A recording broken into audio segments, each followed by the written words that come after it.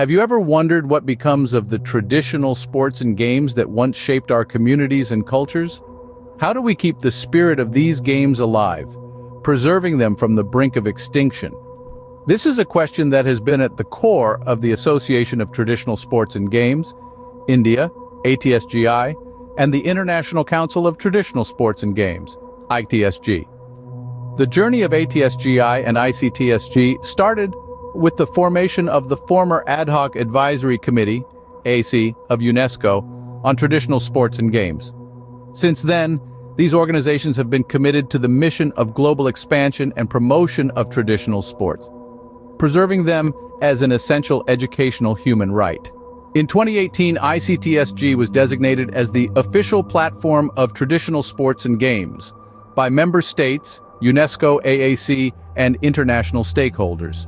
This decision was made at the fourth collective consultation meeting on traditional sports and games and various other consultative meetings. The dedication of ATSGI and ICTSG is not just about preservation, it's about promoting cultural diversity and inclusivity.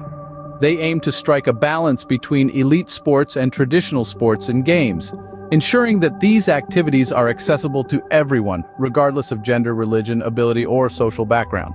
ATSGI has outlined a comprehensive roadmap to preserve and promote the cultural significance of traditional sports and games.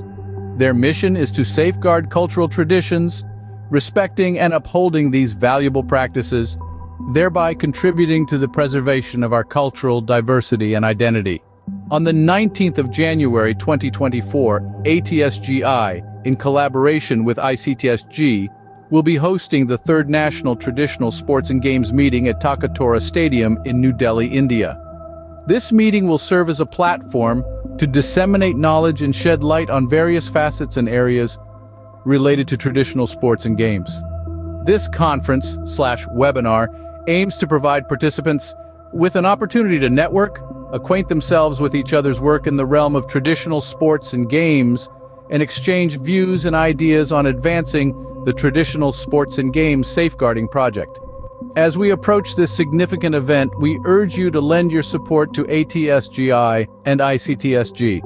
Whether it's through attending the meeting, spreading the word, or contributing your expertise, every effort makes a difference. Let's ensure that our traditional sports and games continue to thrive, preserving our cultural diversity and identity for generations to come.